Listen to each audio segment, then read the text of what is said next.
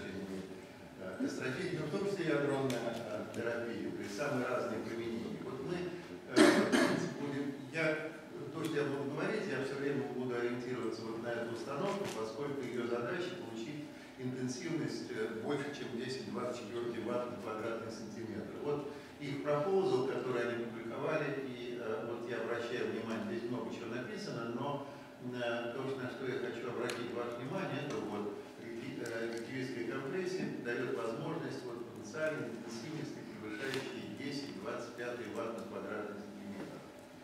10-25. Это очень много, потому что рекордная э, интенсивность, которая есть сейчас, это 10-22 в Мичигане. А, значит, ну да, это вот опять-таки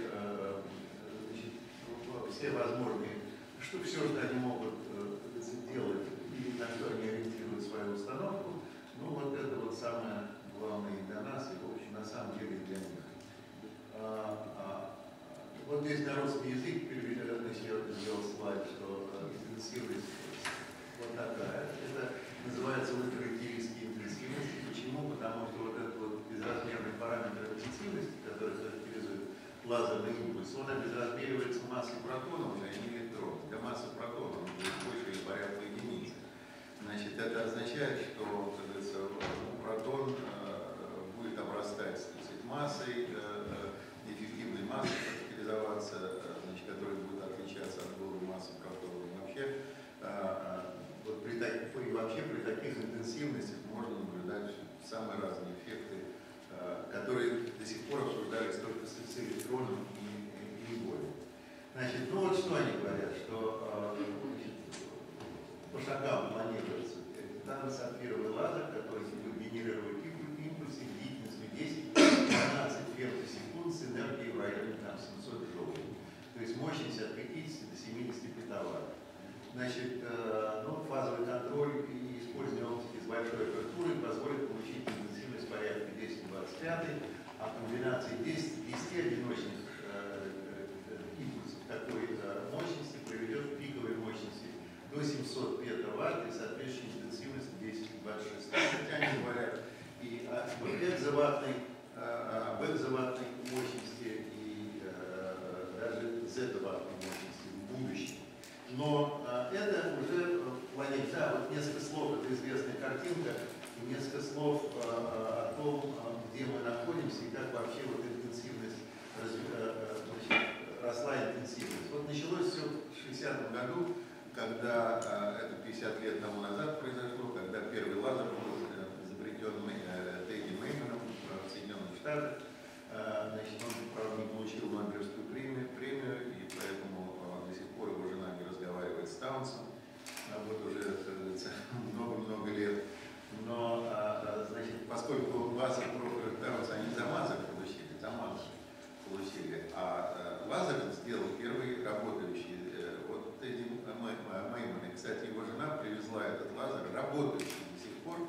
Вот 50 лет праздновалось в Париже, грандиозное праздник, празднество, она привезла этот лазер устроителям, как раз Жерару Муру подарила э, этот самый лазер, ну, вот такого вот размера, маленького, и до сих, пор работает. Ну так вот, с 60-го года все началось, вот интенсивность росла, росла, и, как говорится, в эти годы как раз начались исследования очень интенсивные инженерии квантовой электродинамики. Э, значит, появились работы э, ну, и в Америке, и у нас. У нас это Пешов и Ридус в первую очередь. Э, значит, они очень много плодотворно здесь работали. Была надежда, что и дальше это будет так продолжаться, и все, можно будет на эксперименте видеть. Но потом вдруг наступил период стагнации, как его называют, и продолжалось это где-то вот, ну, сколько, лет 15 фактически не менялась интенсивность лазера, значит, лазера э, до тех пор, пока в 1986 э, году Муру и Стрикланд не придумали технологию CPA, это черпированное усиление черпированное, как это слово черпированное э, на русский язык перевести очень трудно, потому что это чип, это щебетание, чириканье, если угодно. А, а, ну, почему, причем здесь чирик, я до сих пор понять не могу, потому что идея заключается просто в том, что это усиление импульса, что делается? Берется достаточно короткий импульс, он растягивается во времени. Идея, кстати, не новая, она из радиотехники а потом происходит усиление, а усиливать тогда уже можно с помощью различных оптических устройств, их не разрушая, потому что когда растянул во времени, интенсивность невысокая. А после того, как а, значит, вы усилили, вы опять можете его сжать, и в результате на выходе получаете как очень высокую интенсивность. И тогда э, значит, произошло две вещи. Во-первых, э, рост э, пошел снова линейный, производная почти такая же, как здесь. Это во-первых. А во-вторых, размеры установок существенным образом, существенным образом изменились, потому что вот где-то в это время, вот до этого момента, где-то вот в это время я был э, э, в Соединенных Штатах и э, в Рочестере там выступал на семинаре, меня спрашивали, ну где взять такие поля? Я говорю, ну поля не надо брать, потому что достаточно организовать столкновение пучка электрических электронов и лазерного импульса. А в собственной системе этого электронного поля будет достаточно высокое, и можно наблюдать на линейный эффект. На следующий день человек, который меня принимал, отвез, отвел меня в лабораторию лазерной энергетики, она там называлась в Рочестере, интенсивном МУРу как раз. Э, ну, в это время, в это время он как раз начал там работать. И они мне показали э, строящийся лазер, э, значит, по современным меркам не очень высокой значит, мощности сегодняшний день. И, как говорится, когда я посмотрел на это громадное здание и вообще на эту громадную машину, я почесал затылок и сказал, непонятно, что легче. Slack сюда перетащить к вам в Рочестер, или этот лазер там построить, потому что действительно это было сложно. Но после этого появились так называемые tabletop lasers, то есть это установки, которые можно уже в лаборатории, на лабораторном столе смонтировать и с ними работать. И вот э, все это продолжалось до последнего времени, э, пока э, значит, ну, уже существующие технологии не, дошли до некого предела. Э, и вот сейчас вот где-то здесь мы находимся, это как раз 1022 ватт на квадратный сантиметр, ну, может быть, еще на порядок удастся поднять, но как бы не более. Вот э, УРУ предлагает новую технологию, это использование адаптивной оптики, значит, пучков вот, э, э, с широкой апертурой и так далее. И, говорится, появился. В результате проект, сначала была статья Муруль Даржимы, а потом появился проект, который одобрен Европейским Союзом, значит, и сейчас этот проект в действии, там уже огромное количество стран к нему подключилась, Россия тоже участвует в этом проекте, но э, отдельные люди участвуют, потому что Россия денег, естественно, туда не вносит, а кроме того, они тоже не очень приветствуют участие России, там, потому что Россия говорит, давайте построим это, на нашей территории, да, мы деньги это еще до кризиса были такие разговоры. И они категорически отказались это делать, поэтому, собственно говоря, не, не, не, не люди, которые э, значит, планируют и строят эту установку, а оказался Евросоюз. Евросоюз ни в коем случае руководство Евросоюза нет, как говорится, э, не пошло. Поэтому, э, поэтому значит, и Россия официально не участвует. А можно вопрос такой? Да. А вот у нас в России какой мощности есть максимальные, так сказать, ну, вот метаваттные лазеры сейчас э, делают, значит, э, как это, вот, Сергей Григорьевич Гаранин, к сожалению, не приехал, там э, в Сарове делается мощный лазер, но он тоже для лазерного термоядра в первую очередь. Ну и какие-то, может, другие цели, но в первую очередь лазерный термоядр. А большой интенсивности там не будет. Вот мощность и интенсивность – это разные вещи. Того мощность, как эти люди вот делают, я показывал, какие э, делают э, машины, для того, чтобы интенсивность большую получить, нужно жестко очень сфокусировать и иметь очень короткие импульсы. Но, естественно, повторяемость должна быть достаточно высокой. Вот здесь вот обещают там ну, место выстрела в минуту. А, а, а, то есть это серьезная очень а, машина. А для чего интенсивность нужна? Потому что интенсивность вам дает высокую напряженность поля. А если поле высокая напряженность поля, ну вот тогда э, вы можете наблюдать всякого рода линейный эффект. А там интенсивность невысокая. Да, а что такое ТР? Это кого энергия?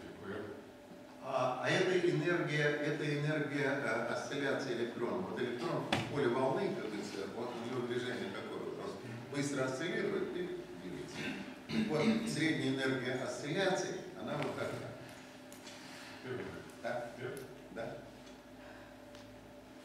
Ну, а если опять сцелируется, Да, да, да. Он должен сбрасывать все синхронным образом, синхронным Нет, нет. Он сбрасывает, он, он, потому что он, как говорится, дело в том, что он в поле волны, э, осцилляции происходит, как говорится. Короткое время. Да. И э, не то, что времени не хватает, он опять, как говорится, излучив оно, мы опять должен перейти в такое же состояние. Ну все. Поэтому а, излучение, не, не, то есть излучение, конечно, есть, он может излучать. Это правда. Это, как говорится, вот если пренебречь излучением, то, конечно, энергия вот, вот такая. Эффективная масса жутко большая, во много раз больше, чем а, а, масса голого электрона несравнима. А, потому что, ну, сколько там, ну, здесь шестой раз больше. Но, но да, такой электрон... Дальше, дальше становится правильно. А может быть, из-за синхротронного излучения опять кривая? Ну, я буду говорить о том, можно получить или не может, но это не из синхротронного излучения. Дело в том, что синхротронное излучение чего? Дело в том, что ну, вы создаете лазер, у вас никаких электронов там нет. Предполагается, что можно сделать идеальный вакуум. Кстати, я вот когда буду говорить, это очень важный вопрос, если вы уже задавали, а как вот э, реально сделать вакуум, всегда вроде грязь есть какая-то. Нет, вот экспериментаторы говорят, что нет проблем сделать, как говорится, вакуум чистый, и это делается не с помощью масляного насоса, а с помощью того же лазера очищается, так полость, то есть они, как говорится, стреляют туда и очищают. Да, он вот с такой будет энергией. А, и давайте смотреть, как он себя будет, как он будет излучать, все это можно, как говорится, изучать. То есть э, вот его состояние вот такое, он, как говорится, а дальше он а, но нас с вами будет интересовать, в общем, на самом деле, вернее, меня интересуют в основном вакуумные эффекты, потому что э, значит, а ну, я готов... А? Ну, ты говоришь, что импульсом выслано, ну, стенки же все равно будут падать. Ну, утверждается, вот это, причем это самые разные экспериментаторы. Я, честно говорю, я, как говорится, этот вопрос сам задавал экспериментаторам, и, э, значит, сначала мне вот, французы ответили, что нет проблем, потом фиане, значит, Брокинском, и даже так, там кто-то задал этот вопрос, и тут же экспериментаторы не сумели сказать, что да, это они могут делать, я не знаю как. Ну, вопрос важный, но ответ такой. Я не могу, как говорится, объяснить это, но, то есть, потому что, не знаю, но они говорят, что да, можно. Так вот, планируется попасть вот сюда, вот сюда, а цель, вообще говоря, дойти до петалла. То есть это как раз 10-30 э, интенсивность, вот здесь интенсивность, это та интенсивность, которая э, вот характерную интенсивность, которая определяется тем самым полем ЕС, о котором я вчера и говорил. А если еще дальше идти, ну там вообще, то есть начинаются другие вакуумы гравитации, уже не квантовые бриллианты, а на квантовую крову динамику. Это так им кажется, потому что на самом деле, о чем я буду говорить, существуют естественные пределы, выше вы, если пара будет рождаться с лазером, просто подняться не сможет. Это, это цивильный пара всегда, но об этом я буду говорить позже. Значит, вот э, стремление сюда, причем скачок э, должен быть, причем опять этот скачок будет связан с именем Жерара Мору, поэтому э, вот один раз он уже доказал свою дееспособность, я ему в этом смысле очень доверяю. А, вот. Значит, ладно. А вот это вот э, дорожная карта этого проекта, дорожного карта этого проекта, который, правда, была опубликована до кризиса, поэтому здесь небольшой сдвиг произошел, так сказать, по времени все туда подальше отодвигается. Ну вот э, то, что э, первоочередная, э, значит, то, что они хотят построить э, в первую очередь, это как раз вот э, 200 петаватт, смотреть один э, э, выстрел в минуту и 10, э, 10 пучков. Э, э, Значит, и планировалось это сделать в 2014 году, но сейчас э, называется, скажем, 2016, ну, может быть, 2015 год. 2015 год. Ну, я уже показывал это, значит, теперь я просто Значит, ну, а все определяется э, Лагранжаном Гайзенберга Эйлера, это, э, э, об этом я вчера говорил, значит, ну, какие нелинейные вакуумные эффекты, в принципе, их много на самом деле. Рождение пары электромагнитным полем из вакуума – это самый яркий, с одной стороны, яркий эффект, а с другой, как ни странно, эффект, который проще всего наблюдать. А, потому что вот генерация гармоник в вакууме, что это такое? Ну вот если вы фокусируете лазерный импульс, даже один фокусированный лазер, лазерный импульс, то он как в линейной оптике начинает фонить в вакууме. То есть начинают генерироваться гармоники, э, даже и одиночным. Но гармоника излучается, вот тоже вещь для меня, сказать, несколько удивительная. Излучается гармоника, третья гармоника почти вперед. И начинается это где-то при интенсивности 10-27 ватт на квадратный сантиметр. И, э, а вот недавно в Казани я э, говорил с экспериментатором э, ФИАНа, да? я ему говорю, ну это же, он просто интересовался именно этим вопросом. Я говорю, ну это же не увидишь, ну как на фоне, так сказать, такого могучего лазера увидеть, так сказать, там, небольшое количество фотонов, пусть даже третью гармонику вперед, ну непонятно. Он говорит, проблема. Мы, как говорится, можем выделить этот источник до 10 минус 20. То есть вот, э, утверждение, что могут. Но тем не менее, это, на мой взгляд, очень сложная задача. Там, двойной луч преломления, это означает, ну, фактически это эффект расщепления фотона на во внешнем поле, который изучался. А, а, Значит, если э, э, слабенькая волна распространяется э, в поле лазера, то, да, действительно, как в анизотропной среде возникает обыкновенная необыкновенная волна, можно так описывать, а можно, если энергичный поток, квантовым образом описывать, расщепление фотона на атом и так далее. Но рождение пар э, самое проще всего, потому что ну, ничего не было, а потом вдруг ну, был только свет, а тут вдруг вещество. Поэтому увидеть легко. И зависимость очень резкая, экспоненциальная. Поэтому, как говорится, этот эффект проще всего наблюдать, и основное внимание на нем сосредоточено. Значит, в основном люди думают, что вот э, все бы уверены в том, что при таком характерном поле, э, вот заутеровское поле, где 16 вольт на сантиметр, если говорить об электрическом поле, вот нужно именно такое поле, чтобы все такие эффекты наблюдались. А, а, Значит, это поле, как известно, совершает работу порядка МЦ квадрат на кантоновской длине э, электрода. Вот э, такое могучее поле спрашивается, интенсивность какая? Ну, если посчитать интенсивность вот так вот, то э, получится 4,65 на 10, 2, ну, 5 на 10, 29 ватт на квадратный сантиметр. Значит, ELI говорит 10, 26 получим. Ну, там, может быть, чуть побольше в ближайшее время, но тем не менее, это еще далеко до этого самого характерного, э, характерной интенсивности. Поэтому вопрос, можно наблюдать нелинейный эффект или нельзя. Можно или нельзя наблюдать такие нелинейные эффекты. Ну, э, вот э, как я, значит, как описывается эти эффекты, как их считать? Можно ли там аналитически продвинуться, где надо счет, численный счет делать. Значит, э, вопрос, как описывается поле лазерного импульса. Ну, плоская монохроматическая волна. До сих пор люди, считали, что это плоская монохроматическая волна. И это очень говорится, удобно, потому что существует точное решение квантового уравнения, либо Дирака, либо э, э, Кляйна Гордона, и это волковские решения. И поэтому сравнительно легко вычисляется вероятность там, процентов, по крайней мере, элементарных. Уже в учебнике вошло, вот можно смотреть Берестецкий, э, э, как можно э, очень подробно, еще в 79 году вышедшая в трудах Фриан целая книжка Никишова и Ритуса, где очень много рассмотрено всякого рода э, эффектов. Но э, дело в том, что нужно, на самом деле порядок получается при жестком фокусировании сильный. Надо жестко их сфокусировать. И это совсем не монохроматическая волна, поскольку здесь появляется продольная составляющая поля, которая коренным образом меняет вообще на самом деле э, ситуацию. Тем не менее, приближение монохроматической волны очень часто работает, очень часто работает, но, а, а, значит,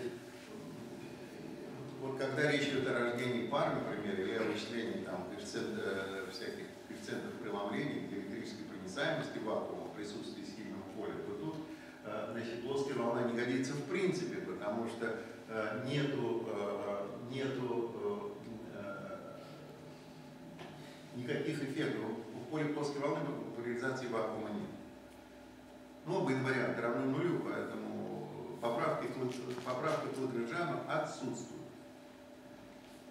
И эта модель ни в коем случае не работает. Она работает только тогда, когда есть какая-то внешняя частица, неважно, фотон, там, электрон, еще что-нибудь. Есть внешняя частица, она работает. А, ну, с какими-то ограничениями. А вот для таких эффектов она не работает. Поэтому, если хотите что-то считать, нужна модель э, фокусированного электромагнитного импульса, которая должна правильно э, отражать свойства реального импульса, то есть э, решение уравнения Максвелла в пустоте. Вот это зеленый написал, а черный написал, что очень трудно работать, казалось бы, потому что нет точных э, решений никаких квантовых уравнений. Спрашивается, применять картину Фари, э, значит, не удается. Ну вот э, я буду говорить о, модели, которая у нас вот в этой э, работе с Мишей Фоханом э, была э, развита, и э, сейчас я вдаваться в подробности не буду, это я просто формулу привел для того, чтобы показать, что вот формула аналитически есть. Это, скажем, монохроматическая циркулярно поляризованная неплоская волна, которая распространяется вдоль э, оси Z. Это, повторяю, точное решение уравнения Максвелла при условии, что вот эти функции, которые здесь фигурируют, ну здесь э, значит, обозначение понятно, это. Порты, э, значит, э, вот э, ро, э, это просто координата э, цилиндрическая, э, фаза фи определена вот здесь вот, дельта это есть некий параметр, я осмыслю его чуть позже скажу.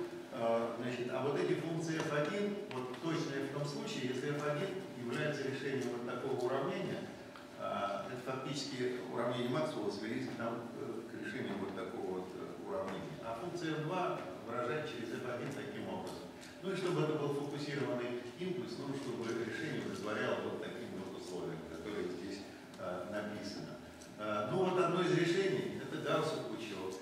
А, вот здесь просто явно выписано, правда, а, вот эта функция f1 и f2, она выписана для случая, когда этот параметр маленький. Но обратите внимание, что значит, здесь стоит лямбда на 2 фи r, r это радиус фокусировки, поэтому если r у вас лямбда, то параметр единицы на 2 пи, то есть в общем можно считать порядок имеет всегда. Даже на дифференционном пределе. И в этом смысле вот эти функции хорошо работают. Ну что, каков смысл вот этих параметров? Значит, вот описывается буквально вот распространение такого пучка. Значит, R имеет смысл э, радиуса фокального пятна. Э, э, и это дифракционная или релеевская длина. А дельта это параметр фокусировки. Вот когда он, так сказать, большой, ну что значит большой? Вот он, грубо говоря, ограничен там 0,1, 0,0, можно сказать, если лямбда пополам, можно чуть побольше его сделать, но он все равно всегда меньше единицы, а маленькая дельта, значит, вы переходите к пределу плоской волны просто. Что характерно для такого поля, это для нас важно, что вектор EH имеет продольный компонент, поле не поперечное. Всегда возникает вопрос, а что это такое поляризация для непоперечного поля. Э, Ну вот, во-первых, можно всегда э, найти такое решение, в котором вектор Е поперечный, это Е поляризованный или это Е волна, или наоборот, А поляризованный или ТМ волна, э, то есть э, поперечный магнитный, а поперечный электрический. Когда вектор H э, э, поперечный, а, а, а, так сказать, э, а продольную составляющую имеет только э, поле Е везде. А в общем, в общем случае, ну, получается некая смесь, вот э,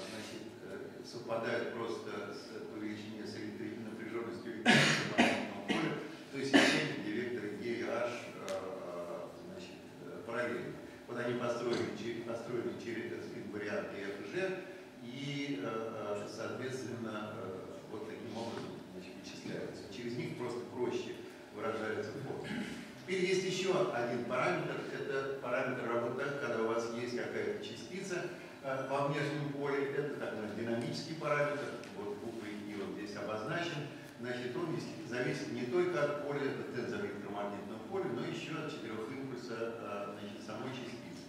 Смысл его состоит в следующем. Вот если я перейду в систему, где частица э, значит, э, в среднем покоится, именно в среднем, потому что скажем, если это волна, то у вас, как говорится, она может совершать регулярные движения, еще вот эти вот быстрые осцилляции. Вот быстрые осцилляции по-прежнему, как говорится, могут быть, а регулярного движения нет. Э, В среднем э, покоится, тогда, э, тогда этот параметр есть просто отношение поля в этой системе, в собственной системе частицы, к характерному полю. Если у вас сталкивается лазерный импульс и ультрафиолетовый электрон, то тогда Значит, понятно, что поле в, собственной лабораторной системе связано вот таким вот образом, да, и для ультраактивистской частицы просто поле э, в собственной системе есть, э, ну вот гамма-фактор появляется, гамма-фактор появляется, и, соответственно, параметр хи может оказаться очень большим, если э, частица ультраактивистская. Важно, что этот параметр квантовый, этот параметр квантовый, сюда постоянная плавка входит, и, скажем, если у вас частица заданным хи излучает, если хи маленькая, то квантовые поправки несущественны, излучение происходит так, как в общем, классические частицы, по формуле классической, работает классика. А если порядка единицы, э, вот я здесь писал много больше единицы, это неправильно, это ошибка, больше или порядка единицы, надо было написать, то э, значит, отдача очень большая, траектории нет, и надо, в общем, уже квантовым образом описывать. Никакие э, значит, вот, формулы там, гравитационного трения или еще этот параметр большой, то есть единицы или, э, или больше, уже, конечно, не работает вообще даже и не применимо. Ну, собственно, и применять нам э, не нужно. Теперь вот давайте рассмотрим вероятность какого-либо процесса, который инсталлирован на частице во внешнем поле. Вот он зависит от, вообще говоря, трех параметров. Видите, я просто без размеров а, значит, э, критическим полем, характерным полем. А, Значит, вот здесь я тоже ошибку допустил, надо было написать квадрат, потому что f имеет размерность если s в квадрате, надо было написать, ну не важно, по смыслу понятно, что я просто обезразмерил э, характерным полем этих параметров. И это какое-то несоответствие. А, я в приколье делал, что-то по-видимому, там что-то здесь скобки просто круглые должны быть, а здесь должны быть запятые. А, в общем, не важно. А, а, нет, нет, прошу прощения, все нормально.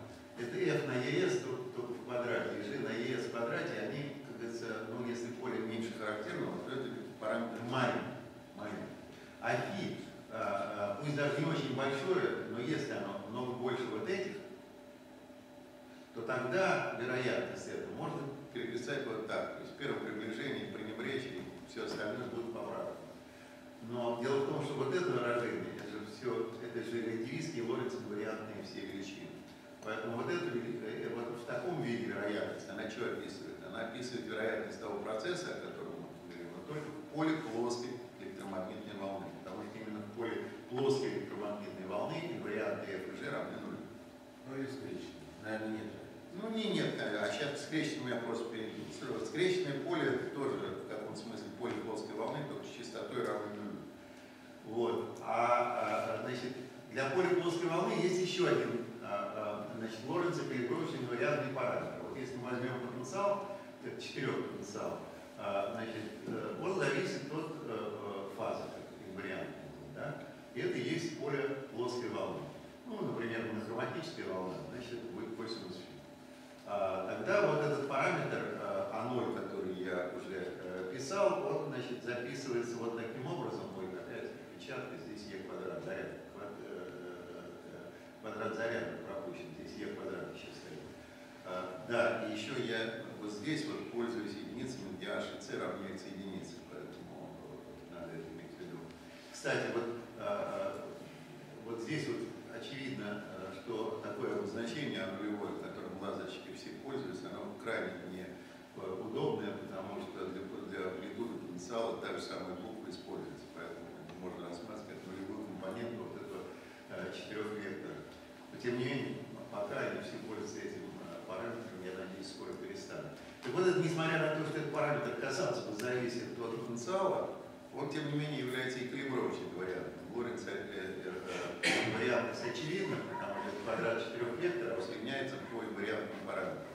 А калибровочный инвариантный, это понятно, потому что если вы остаетесь в плоской волне, то вот, например, любое калибровочное преобразование определяется произвольной функцией, но функцией, зависящей от инвариантных фаз. Поэтому вот так вот вы его записываете, а, как говорится, когда вы звоните в квадрат, то k квадрат равняется нулю, и э, э, k на a тоже, как говорится, равняется нулю, нам всегда это можно делать. Поэтому э, при любом калибровочном преобразовании у вас, как говорится, этот параметр остается постоянным. Так вот, а, этот параметр, он, а, ну вот здесь закон записан в более-менее стандартном виде, если его вот так переписать, то смысл этого параметра – это работа поля на длине волны, а, а, значит, а, вот на длине волны этого внешнего поля, отнесенная к m, или к mc квадрат.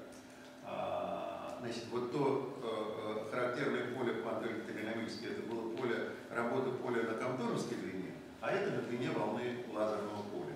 А, И этот параметр никакой постоянной планкой не содержит. Постоянной планкой не содержит. Это классический параметр нелинейности. А, Значит, на самом деле этот параметр э, чего определяет? Вот если он порядка единицы или больше, то любой процесс становится модифактоном. Значит, скажем, ну вот если говорить о нелинейном камптоне, да, вот камптон эффект, электрон поглощается, электрон получается, да, обычно рассеяние электрона, э, то есть э, фотона на электроне. Да. А, значит, если во внешнем поле э, это происходит, то э, это происходит с, э, с поглощением, электрон берет, скажем, может взять этот фотон, э, который он перерассеивает, да, из внешнего поля. Если он один фотон берет, это не линейный эффект. А если он два берет, то, э, как линейный. а? То есть наоборот, линейный, да. А если два или там больше, эффект становится нелинейным, многофотонным. Э, Многофотонным становится. Ну и вот эти, как говорится, гармоники с э, поглощением не- нескольких, не- несколько, нескольких фотонов из волны, они существенны тогда, когда как раз параметр 0 порядка единицы. И смысле он многофотонный. Это работа поля на длине волны. Вот. Есть еще одна важная характеристика любого процесса – длина формирования. Это длина, на которой формируется, как говорится, э, э, акт излучения, поглощения, там, рождения пары фотонов. Характерным длин- э, э, масштабом длины формирования является вот такая величина, или это длина волны, деленная на вот этот параметр нулевого. Поэтому если оно много больше единицы, а это можно, можно сделать, это, напоминаю, релятивистский калибровочный вариантный параметр, либо за счет того, что у вас поле очень сильное, либо за, счет того, что частота маленькая. А, так сказать, э, вот этот параметр, ну, когда он большой и длина формирования много меньше длины волны, то тогда вот то поле, мы говорили, что поле вероятность представляется э, выражением, э, э, которое работает в поле плоской волны. То такое поле можно уже рассматривать как скрещенное поле, как постоянное. Я почему обо всем этом говорю так подробно? Потому что это означает, что вот для скрещенного поля, для поля плоской волны посчитано очень много значит, разные процессы, как изучены досконально. И поэтому сказать, но, э, все формулы уже есть, все готовы. Им просто можно пользоваться, если параметры вот такие. А, как говорится, для, э, вот мы говорили э, о параметре А0, там Михайлович спрашивал, Т, Г, так вот они определяются как раз А0. Вот сейчас а, то, что предполагается, это а, А нулевое, там, 10 в 6 или даже выше. И поэтому, э, значит, э, э, конечно, если оно э, 10 в 6, то это настолько маленькое с длиной волны, что поле, э, то есть поле не успевает измениться за время, когда процесс уже сформировался. Поэтому э, у вас э, поле скрещено. А вот если нет частиц вакуума, то есть нет параметра хи, тогда уже, извините, надо смотреть зависимо, значит, вероятность любого процесса, в том числе вероятность рождения пар, F и G. Волны ни этого нет, вакуума нет, потом поэтому надо вот использовать модель э, значит, э, фокусированного поля. Значит, теперь какие вообще до сих пор эксперименты были по нелинейной квантовой электродинамике? Значит, по нелинейной квантовой электродинамике было только два эксперимента. Вот э, эксперимент Е144 он назывался, имел номер на слэке. Значит, это нелинейное компьютерное рассеяние. Значит, схема эксперимента чрезвычайно простая. Имелся лазер, значит, лазер э, где-то интенсивностью 10 в 18, да, вот здесь 0,5 на 10 в 18, хотя интенсивность э, в этой установке лазера можно было менять, она была переменной. И длина волны, как инфракрасный и зеленый, да. Вот лазер, вот это зеркала, лазер фокусировался вот сюда, а здесь пучок э, слэповских э, электронов с энергией, значит, соответственно, близких к 50 ГО, ну, 46,6 ГО. Вот здесь происходило столкновение. Столкновение было почти лобовое, угол здесь был 17 градусов. Ну и, соответственно, как говорится, у вас э, э, э, электроны попадали вот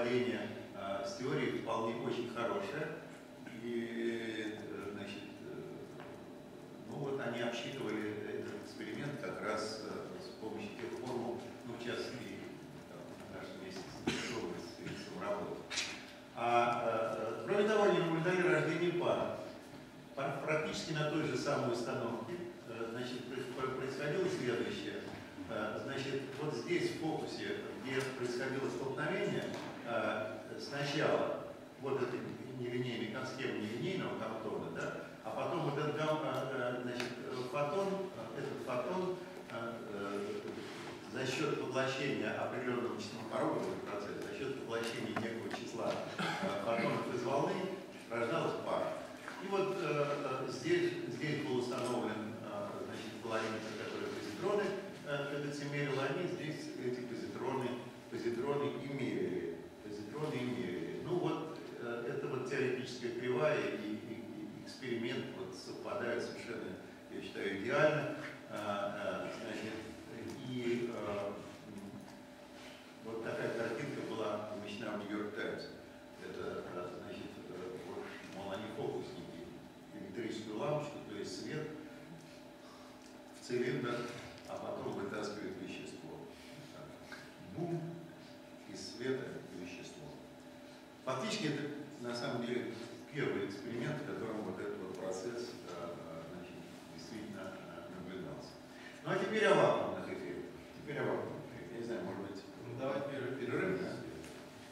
Металлургическая. Да, может быть, перерыв. Вот сейчас Ой, честно. Ну да, а опять не будет. Там не только электронные электронные фазы, там будет есть есть фазы. Не зрение важно. Не зрение Может, важно. есть запасы. Не-не-не. Где? Где какие? Ну. Ну, совсем другое взаимодействие. Это Нет, взаимодействие. А?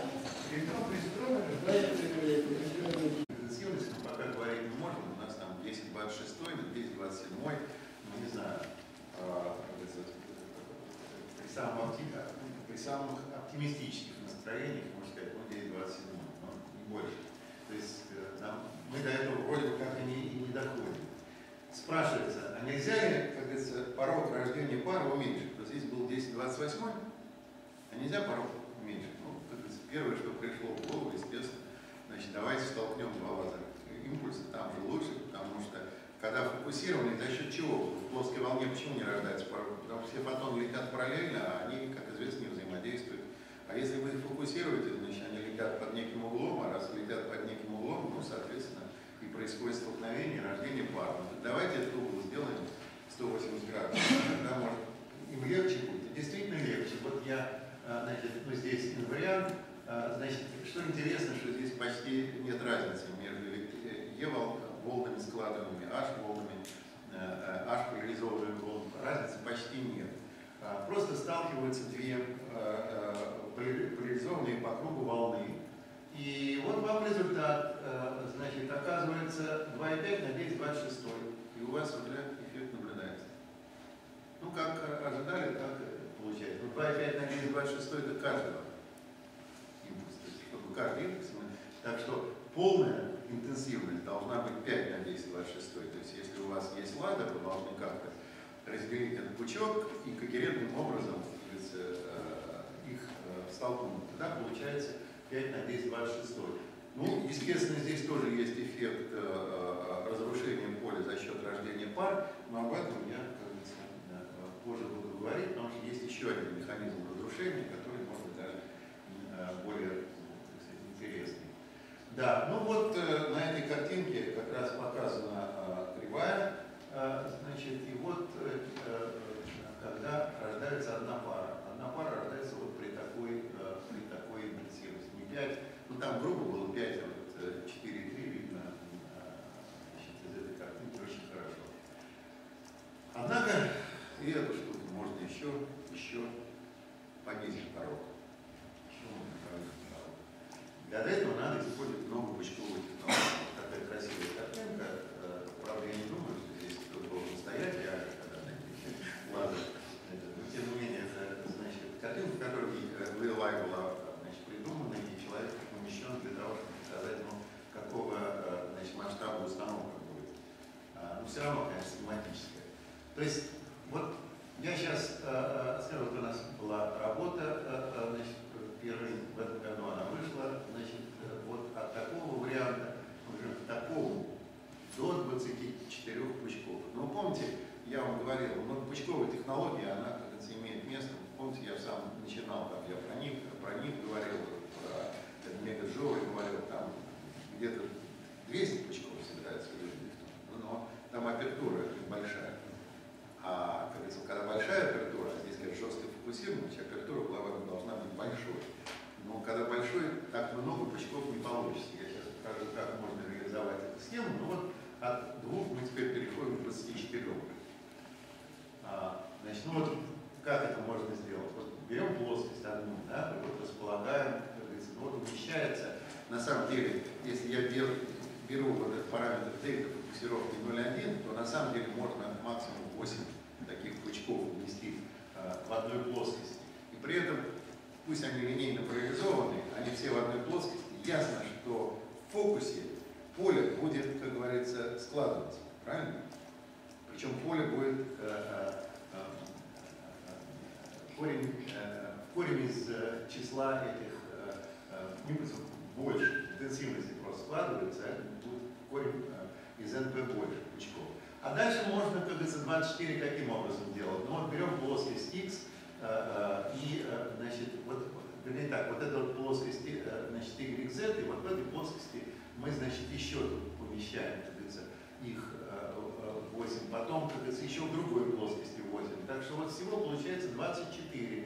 Правда, не так эффективно уже, когда в другой плоскости, когда не под наклоном увеличивается напряженность поля. Но вот по такой формуле это рассчитывает. Мы брали 8, угол θ 45 градусов, и тогда получается, что э, Е2 поле вот, по отношению к 20, 24 к 2 почти в три раза увеличивается по плитке, а по отношению к 8 почти в полтора раза увеличивается. А, почти в полтора раза увеличивается. А, ну, можно спросить, но зато же ясно, что как-то все перераспределилось, что значит увеличилось. У вас же исходная эта энергия была, какая была, такая, такая и осталась. Правильно? Но на самом деле это происходит, происходит что. Происходит перераспределение поля вот в фокальной плоскости, геометрия значит, поля в фокальной плоскости существенно изменилась. Интенсивность поля, вот это вот 2 пучка, это 8, это 24. Видите, она вот на любой картинке, это э, плоскость XY, а, а вот, вот здесь вот эти пучки, а вот это вот плоскость XY, это плоскость ZY, это плоскость XZ. Вы видите, что интенсивность все время растет, а, как говорится, структура как бы уменьшается. Происходит такое, вот здесь вот вообще как некая пятнистая структура образуется а, фокальной плоскости. Интенсивность выросла, а область уменьшилась. Поэтому если вы энергию посчитаете, то это будет та же самая энергия. Но дело в том, что от, интенси... от напряженности поля, э, э, говорится, э, число родившихся пар зависит экспоненциально, от как говорится, размера этой области, в которой все это происходит, степенным образом. Поэтому, когда вы увеличиваете напряженность, у вас это очень эффективно работает. И у вас из-за этого получается увеличивается напряженность, а стало быть число родившихся пар. Расчет я сейчас покажу. А, а это просто картинка для 2 и 24, но уже как современная как бы, развертка.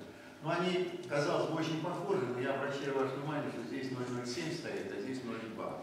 Это просто математика, кажется, не, не, как-то не позволяет использовать на разных картинках разные цвета. Вот она у нее она так заряжена, что цвета одинаковые, поэтому обязательно нужно смотреть вот на эти полоски, видно здесь 0,07, а здесь 0,2. Поэтому если сравнить вот здесь и здесь, они вроде бы одного цвета, но интенсивность гораздо больше.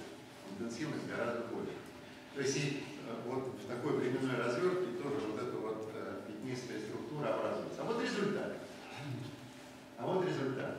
Значит, вот два пучка, да? Значит, ну, Здесь все рассчитывается при 10 килоджоулях энергии. Уже об интенсивности как-то э, э, сложно говорить, потому что когда у вас много, ну что такое интенсивность? Это э, значит, плотность потока, да? а плотность потока это, это все связано с определенным направлением, куда энергия течет. Когда у вас со всех сторон течет, чего говорить о плотности? Поэтому надо говорить об энергии. Э, вот полная энергия всех пучков мы считаем 200 килоджоулей, и это есть э, величина, которую, говорится, на ELI собираются как раз значит, получить. И тогда мы можем посчитать вот при разной геометрии, сколько же, говорится, пар у вас может реально родиться. Но здесь, смотрите, пар не рождается. Потому что, когда здесь напишем среднее число 10, 10 минус 19, 10 минус 18, это просто означает, что надо 10-18 раз выстрелить, чтобы один раз одну пару получить. Поэтому ясно, что здесь пар не, не рождается. А, а вот здесь, в этой колоночке, а, указана а, пороговая энергия, которая нужна для того, чтобы одна пара родилась. Так вот, а, если ELI будет 10 килоджоулей, то для того, чтобы одна пара родилась, при двухпучковой технологии нужно, чтобы было 40 килоджоулей. Вот, 40 килоджоулей. А, как говорится, 4, вот изменилась ситуация. И вот, наконец, когда 8 пучков, да, то у вас начинает рождаться пара уже при 10 килоджоулях, а, как говорится, пороговая, пороговая, ну, ровно одна частица, ну, 10 килоджоулей она и есть. А когда 16-24, то посмотрите, число пар рождающихся очень много за один выстрел. За один выстрел. И порог понижается, и порог понижается. Значит, вот были такие предположения сделаны. Здесь фокусировка еще более жесткая буквально дифракционный предел, то есть уже диаметр равен длине волны. Ну, как говорится, хочешь получить много частиц, выбирай оптимальный параметр установки. Как удастся ли это сделать, это второй вопрос.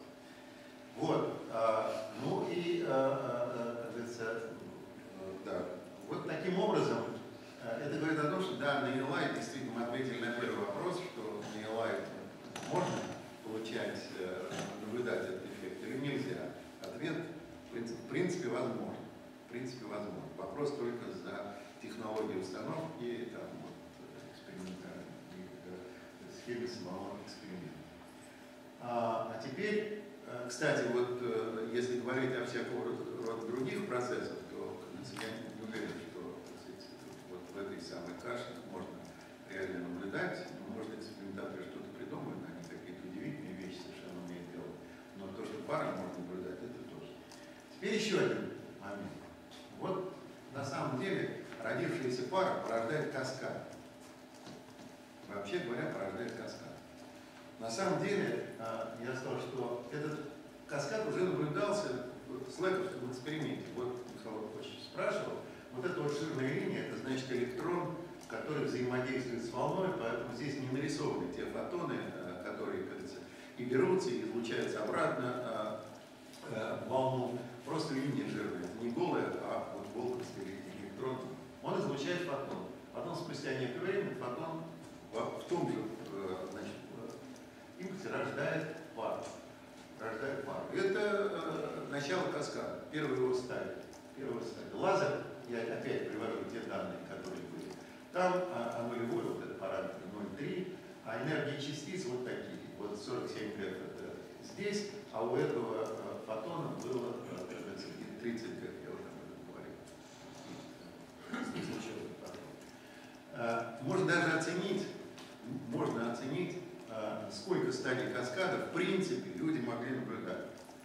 И здесь как это оценить? Ну вот есть вероятность облучения именно при тех параметрах, которых, которые написаны.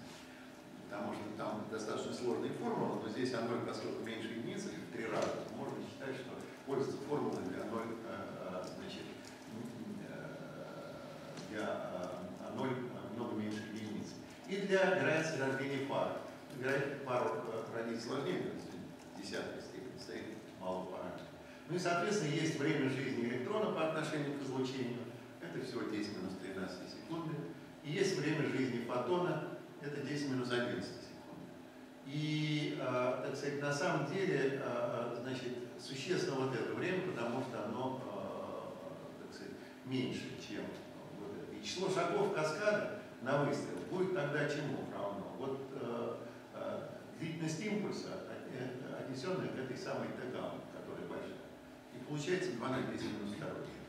Ну вот я написал отличное согласие, я считаю, что это неприличное согласие с экспериментом, потому что там буквально на 200 выстрелов один позитрон.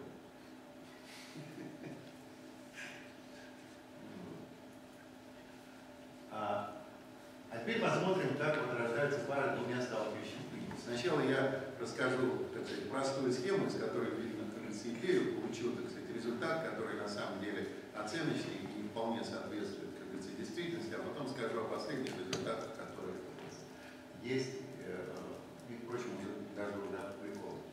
Значит, э, ну вот будем считать, что такие лазеры, э, значит, пороговая для каждой интенсивности у нас вот такая вот одна пара за выстрел, это пороговая. Динамика поведения электрона, вот родилась пара. И она определяется вот этим вот параметром. А, оно и вот уже здесь, для какой интенсивности, 10 четвертый параметр. А хи, э, э, так сказать, хи- параметр хи может быть больше, чем вот это отношение единой ЕС, э, которое для этого лазера 10 минус 2. Значит, что происходит? Значит, а поскольку вот такой параметр, это, это для чего нужно? Значит, дело в том, что частица, родившаяся электрон, электрон, вот они рождаются, они в покое, потом они начинают ускоряться. Я потом продемонстрирую механизм на примере простой модели, расскажу, как это работает на других, но они начинают ускоряться. И излучать они начинают тогда, когда хи становится порядка единиц. Сам факт э, излучения описывается так же, как в скрещенном поле, так же, как в скрещенном поле, э, потому что момент ну, мы просто видели, там э, действительно хи, фотонный хи достаточно большой из-за того, что гамма э, фотон имел э, 30 Гц, поэтому хи будет большой. И несмотря на вот это отношение. Поэтому локально можно рассматривать как скрещенное пользу и пользоваться для пользоваться соответствующими формами. Значит, но если у меня порядка единицы, то вероятность уже вот так записывается излучение, так записывается вероятность э, рождения пары.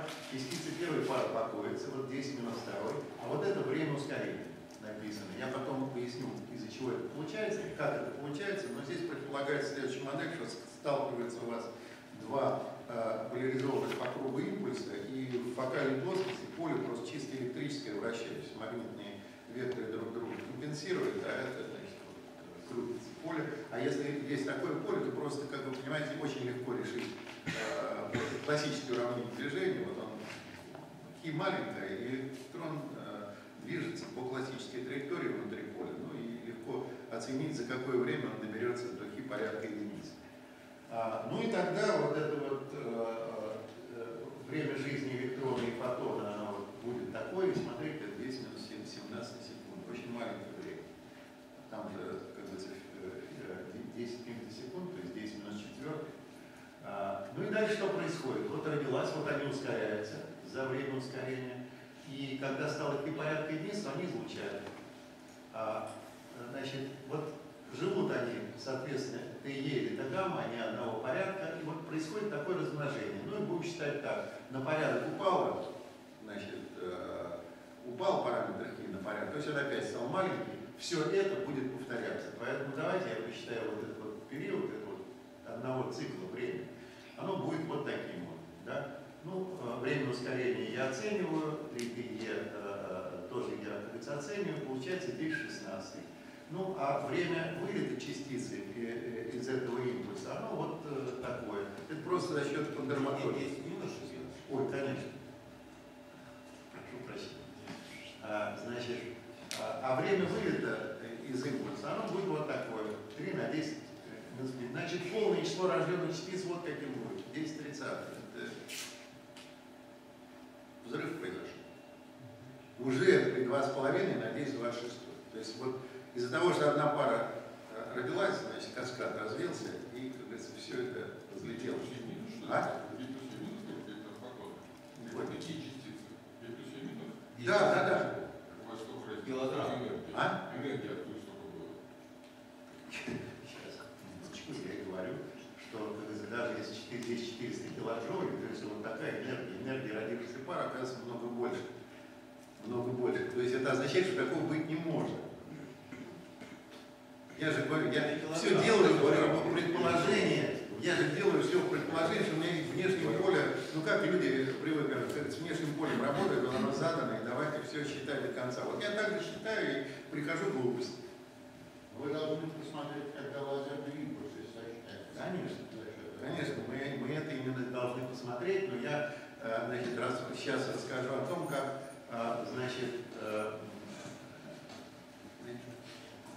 ну я в конце концов скажу, сейчас такая работа просто идет. Работа чрезвычайно непростая, потому что, а, ну ладно, дайте я в конце об этом скажу, потому что здесь я пока буду в тех же предположениях делать, но не вот с такой грубой схемой, которую я стал, а уже более-менее, как говорится, аккуратно.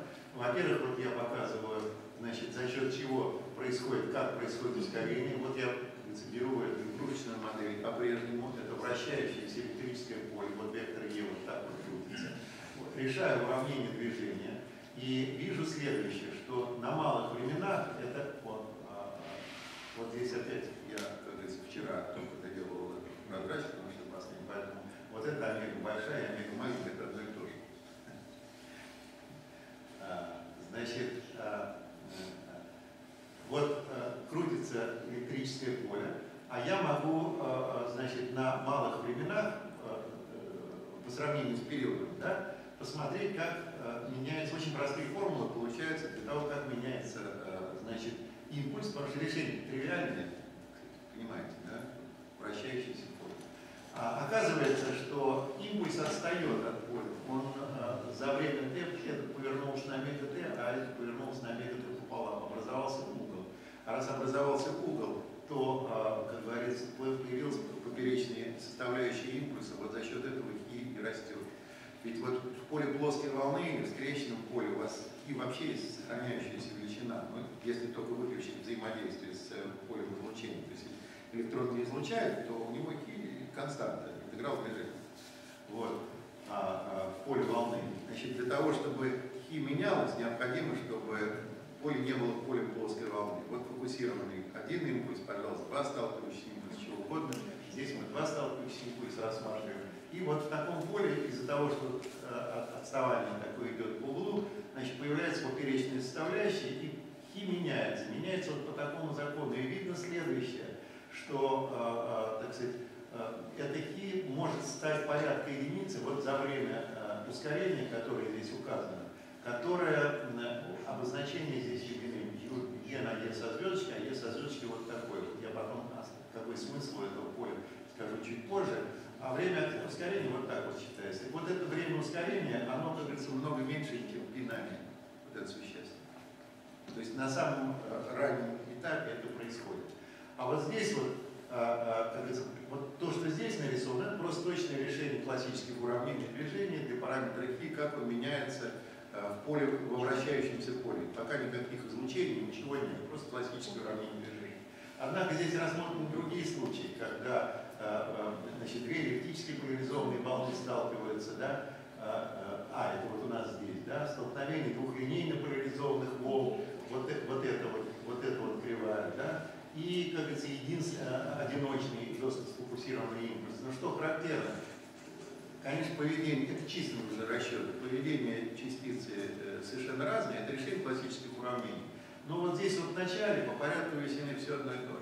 Поэтому вот это время ускорения, которое, как говорится, я получил, оно, как говорится, на самом деле годится и для любого поля.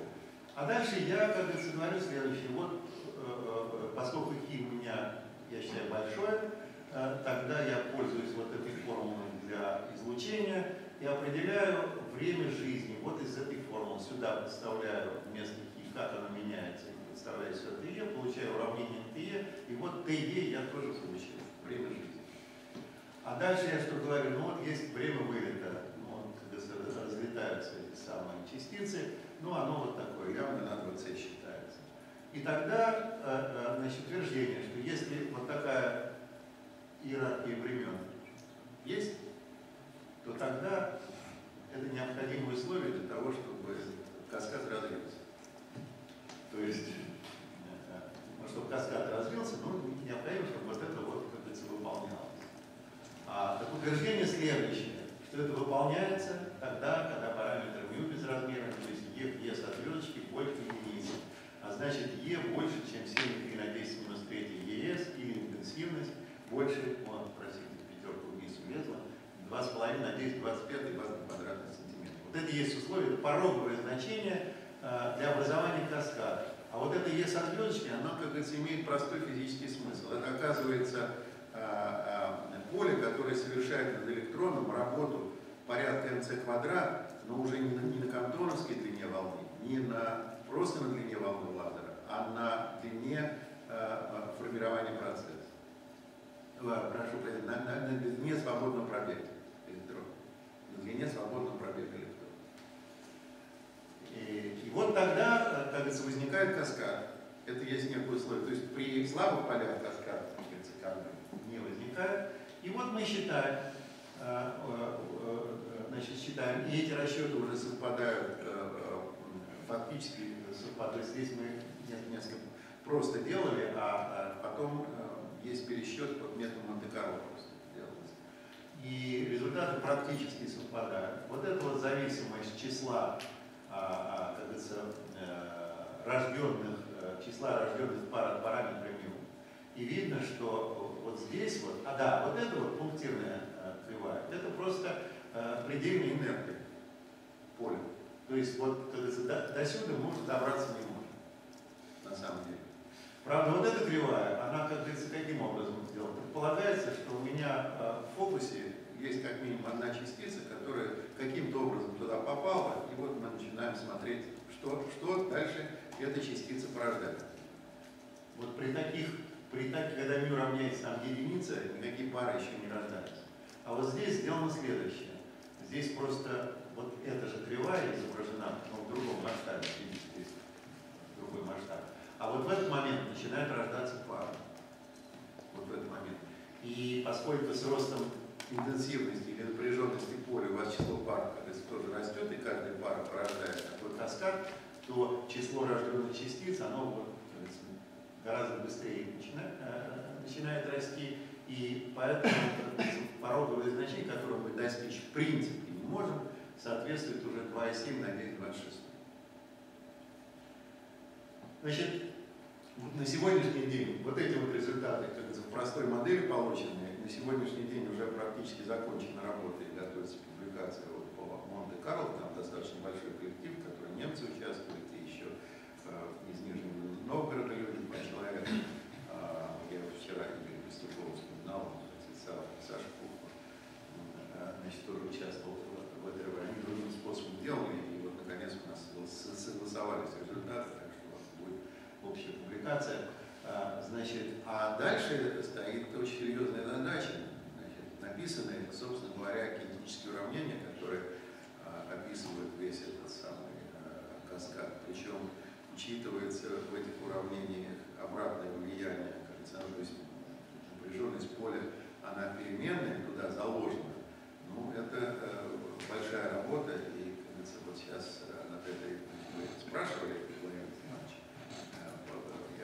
отвечаю, что да, такая работа начата, и я думаю, что она в конце концов приведет нас к результату. А пока что я могу только сказать следующее, что Нильс Борг был прав.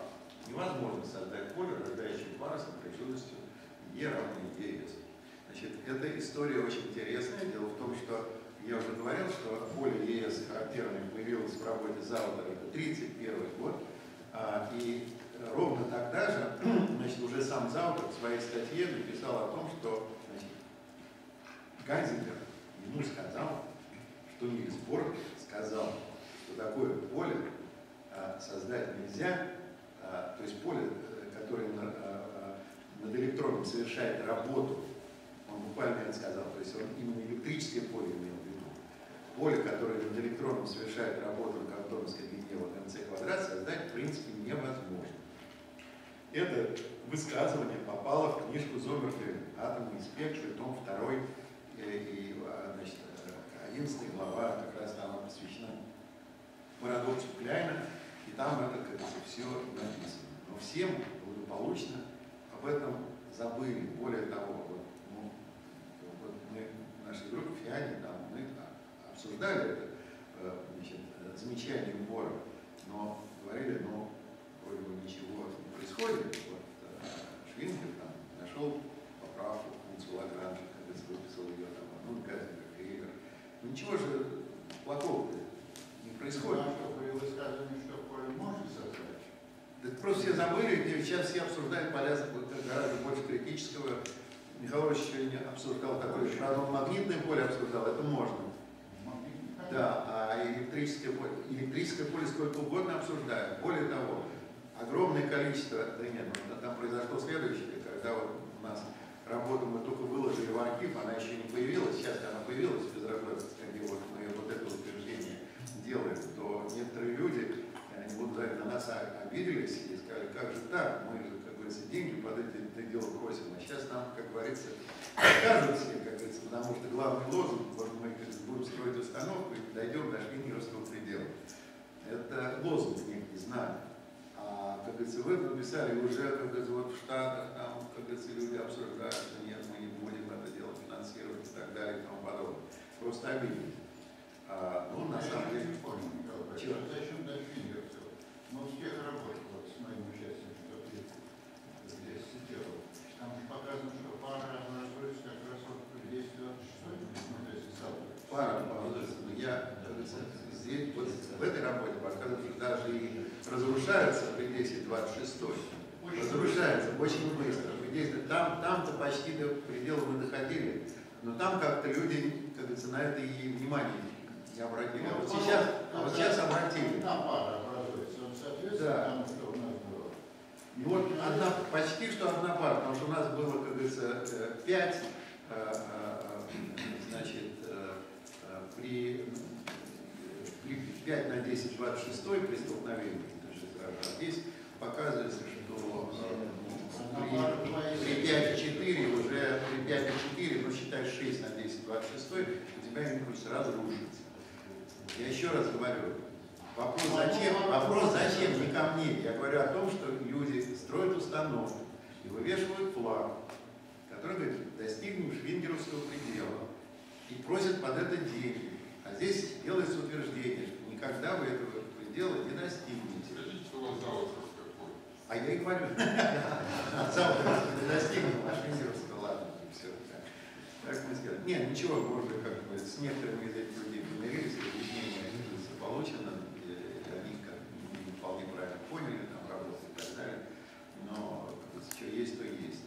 Э, Но э, вот э, я лишний раз, я просто, ну, в каком смысле, поразился. Я не знаю, чем руководствуется Бор, когда делал это утверждение. Вот он сделал утверждение, считайте, сколько, 80 лет тому назад, вот, на, на, на взгляд, оно оказалось абсолютно правильным. Ну, вот, наверное, я закончу.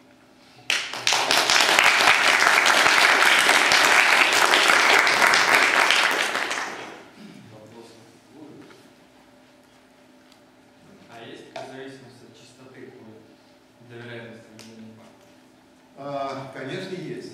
Безо всякого, безо всякого сомнения. Просто дело в том, что а, значит, ну, вот делается рентгеновский лазер, но там крайне низкая интенсивность, поэтому мы даже попытались, попытались, вот у меня студент, попыта- один из них даже присутствует, значит, э, мы попытались оценить, а что будет, если взять, как говорится, э, мощный фокусированный оптический лазерный импульс и э, столкнуть его с экспериментом. Выяснилось, что экспериментский импульс никакого влияния на это не оказывает из-за крайне низкой интенсивности. А какая нужна интенсивность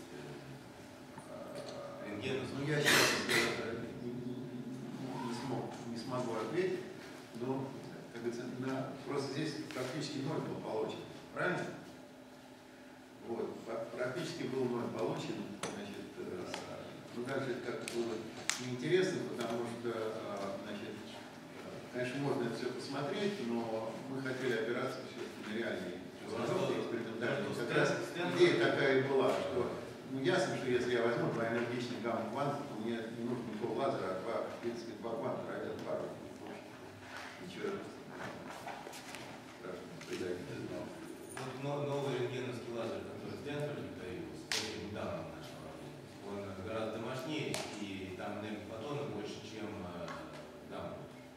Есть, э, Там сейчас уже есть 18 интенсивность, а Ну вот если есть 18 то, наверное, Шесть такое больше. спасибо, да. Посмотрим. Я, честно говоря, как-то не- Это, был доклад... Потому что э, очевидно совершенно, что если вообще говоря, если Ну, во-первых, энергии, если энергия там очень большая, то э, вот мы видели, один фотон, э, сталкиваясь с лазером 1018, оптически тоже рождает пар. Поэтому ясно, что с рентгеновским лазером, как говорится, достаточно большой интенсивности, или, или, я не знаю, или рентгеновская гамма, то, конечно, так сказать, там этот эффект ведь мы даже не с рентгеновскими лазерами, там у нас два порядка по энергии можем, от, там, грубо говоря, доли электронвольта, то есть Чего? электрон. Ну, лазер есть, есть не, не рентгеновский, там, от доли электронвольта до нескольких электронвольт. Да. Вот на, в этом диапазоне Ну, все зависит от того, какая там интенсивность. Это, это не, не очень важно. Там несколько электродов вот это, эту проблему не решит. На- Просто важна- важна интенсивность. конкурирующих э, Ну, это все, Важна, важна интенсивность. Вы видите, какая, какие интенсивности нужны Ну, для вот того, чтобы получить высокую напряженность. Там же нап- напряженность поля играет роль. Вот в чем дело. Поэтому, как говорится, э, ну, в принципе, вылетает. А? Она вылетает в этом пределе. да. То есть, если брать э, титанца первый лазер, если брать СО2 лазер, если брать неодим, это все туннельный режим. То есть там есть а- аналог параметра Гелыша, который близок к нулю. Все эти параметры. А вот это и есть обратный параметр. Если говорить о интенсивности. Я все-таки не напомню. Да. Ну вот, э, эти люди, которые надеются в том, достигнут шенгерской интенсивности, значит, они такой интенсивности, так, такой напряженности достичь не могут, как я понял, из вашего последнего работы. Да, но тем не менее, рождение это факт. Можно достичь? Конечно. Да. Именно Вот, поэтому- вот именно поэтому мы и помирились, потому что они решили, что и как бы, вообще эффекта молнии не выйдет. Потому что Конечно, цель- просто цель эффект раньше была наступает. рождение пары слабого. Да, эффект раньше наступает. Очень быстро Но это некий жупел, вот наш Питерский предел. Именно поэтому мы помирились. Они сначала, они сначала поняли это так, что как бы наш Я не знаю, ну, достаточно четко все Можно еще? Да. А, вот вы так говорили, что вычисления были сделаны в движении того, что поле классическое, в первоначальном конечном Просто классическое. состоянии. Классически. А есть ли какая-то принципиальная невозможность учесть изменения поля в конечном состоянии? А, Есть ли класс- э, что возможность? Почему невозможно?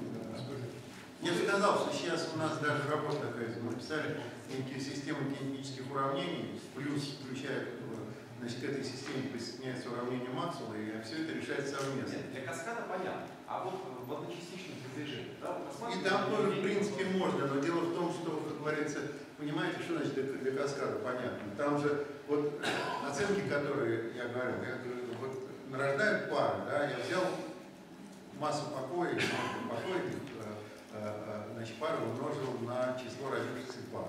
Но ясно, что они будут ускоряться, в любом случае ускоряться э, э, эти частицы будут. На это же тоже откуда энергия берется, откуда она берется? Из поля. Даже если они там как бы вот чисто классические, там не излучают ничего, ну просто ускоряются. Они же огромную энергию получают. Там э, вот в принципе вот высота моторного потенциала здесь колоссальная, то есть она где-то э. Поэтому электрон, выскочив э, из импульса, приобретет темную энергию. Если пар много, вот соответственно. Как это учитывать? Но надо думать, как описывать все эти процессы, потому что речь идет о том, что приближение заданного классического поля. Вот в английском языке есть слово background. Background как раз и предполагает, что есть как говорится, нечто заданное, и на этом фоне у вас что-то происходит. Вот, вот само, сама концепция такого бэкграунда вот в этой ситуации не работает. Это делать? Пока еще ну, наверное, никто не умеет. Наверное, сначала надо какие-то отдельные процессы э, значит, э, рассматривать, придумывать э, разные методы, не знаю. Дело в том, что, вас же не работает там, теория возмущения. Она просто не работает по фотону внешнего поля, потому что надо учитывать, там, Бог знает сколько. Вот количество фотонов, которые участвуют процессе, оно с ростом параметра А0 растет как А0 в кубе. Это результат как хорошо известный. То есть, иначе говоря, если у вас А0 равняется 10 в шестой, то вам, как говорится, нужно, это означает, что эффективное число фотонов, которые участвуют в процессе фотонов из волны, 10 по 17. Ну какая цель возмущения? Значит, надо что-то другое. Значит, внешнее поле с учетом обратной реакции на него. Вот сейчас пока ничего других соображений нет, и мы будем пытаться сказать, вот для конкретного процесса, для развития каскада это сделать. А эти каскады, на самом деле, будут возникать всегда, когда будет э, высокая интенсивность. Вот всегда есть порог. Может быть, в разных задачах он будет разный. Я же не говорю, что там, вот при 10-25 будет каскад развиваться, а меньше нет. Не знаю. Может и меньше будет, может быть порог повысится, в зависимости от процесса. Сейчас ничего такого сказать. Но если каскад есть, то обязательно надо рассматривать вот, с учетом ну, того, что он происходит. Ну а без каскада это уже сделано? Чего?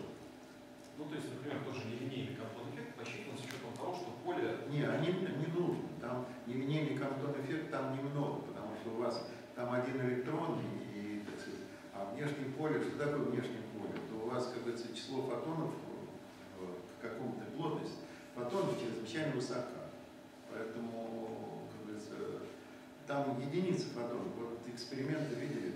Ну, конечно, если взять э, э, не знаю, частицы более высоких энергий, более, больше интенсивности поля, там, может быть, больше гармоник будет участвовать, но все равно это небольшое число, это там не 10 в какой-то степени высокой правда?